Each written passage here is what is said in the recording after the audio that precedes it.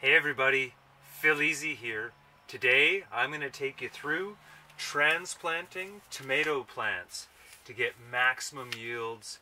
A couple tricks that I've picked up over the years and I just want to take you through how I generally uh, will plant these tomatoes. So thanks for watching everybody. Don't forget to hit the subscribe button, the notification bell, and the thumbs up. Let's go! So what I like to use with my tomatoes when I'm planting is just a couple things. I have my scissors. I'm going to use those to cut open the tray. This is going to help me dig my hole. I have a bit of all-purpose fertilizer. This happens to be a 444. And I have a little bit of this uh, mic, mycorrhizae um, stuff that I'll put on to try to help with the uh, roots. Okay, as you can see, I have a lot of mulch in this greenhouse, so I have to spread the mulch away, get my zone that I'm going to plant my tomato in cleared out. I'm going to loosen the soil a little bit.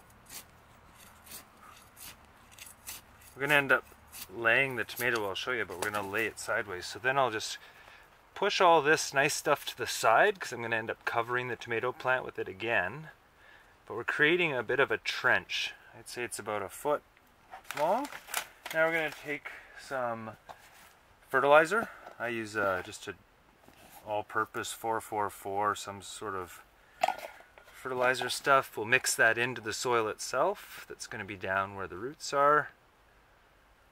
And now we're going to cut out of the cell. We're going to cut cut our tomato out of the cell. I find that's the best way to do it so I don't disrupt the roots as much. Pull the tomato out. We're going to take the leaves off the lower part of the stem.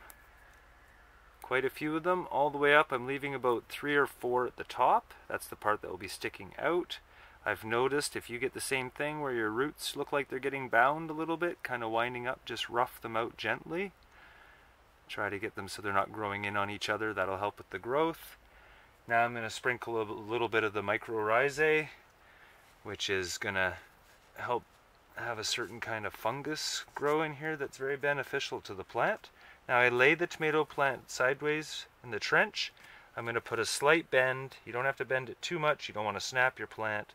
I'm going to backfill over top of the stem itself and the root ball press that down, firm it in. Your tomato does not have to be standing straight up at this point. Mine still has a bit of an angle, that's okay. It'll end up reaching towards the uh, sun. So the other part I'll do is I'll put a little bit of uh, compost on here. Just like that. And then I'm to backfill. Make sure it's patted down nicely.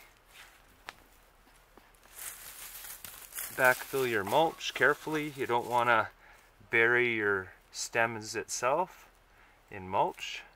You don't want it laying on top of the leaves either. So there we go, and then we're going to water this and we are done for the tomatoes. There you go everybody. That's how I like to transplant my tomato plants out into the ground, into the greenhouse, and to do it in a way that maximizes the amount of tomatoes we're going to get in the end. We buried them nice and deep, so there'll be roots coming out of those stems, nice big root ball in the end, nice big plant, lots of fruit.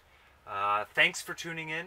Don't forget to hit the subscribe button, the notification bell, smash that thumbs up, and I'll see you guys next time.